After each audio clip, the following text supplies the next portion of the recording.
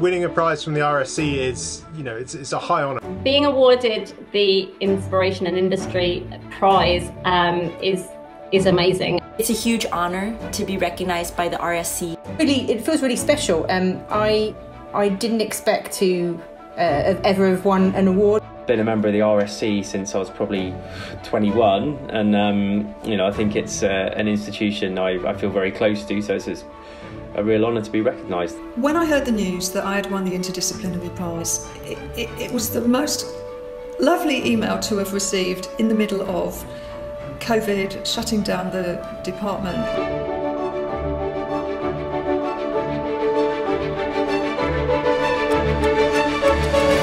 The RSC gives its prizes and awards because it wants to recognise its members who are working hard, working imaginatively around the globe. So we get to see chemistry across its entire breadth, and that's really very exciting. It's firstly a great honour to be invited to join a panel um, to look at the nominations and select the, the winners. Uh, it's really humbling to read about all the amazing things that, that, that other members of our society do to contribute.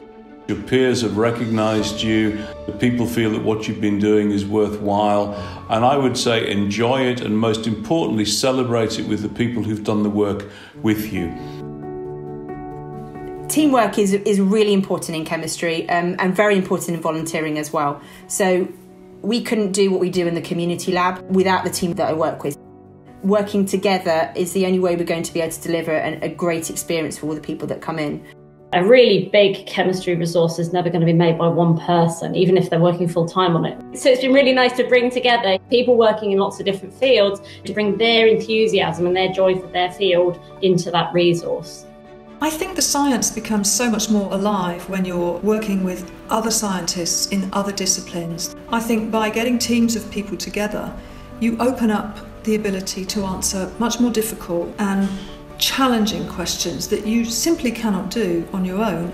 All the big problems that you know we are tackling, whether it is just the, the education of, of the one child or solving the big problems um, in this century, you need collaboration. One thing I love about science is this idea that we do speak a common language that really allows an opportunity for like collaboration with colleagues uh, across the world for me, we live in a very globalized world, and if you were ignoring what was out there internationally, you'd be, you know, really um, short-sightedly blinkering yourself to a huge pool of knowledge and expertise.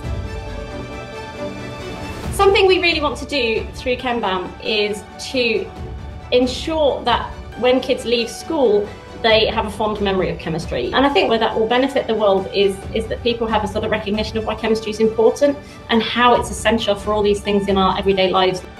Chemistry is an important subject as we try and solve the, the big problems that we have. Better we can uh, train uh, young people to see science and chemistry particularly as there to support human life and, and solve the problems we have, uh, the more we can contribute to those solutions. In regards to the importance of, you know, fundamental research versus more applied, I think that it's incredibly important to support a diverse portfolio as a community.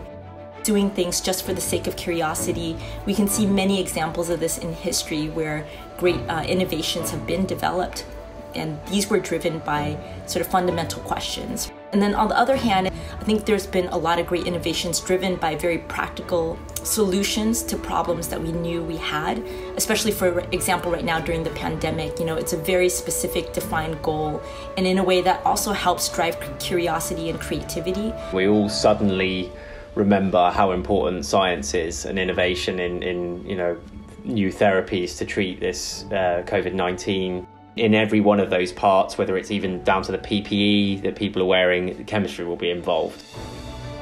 I'm really proud to be a scientist at the moment.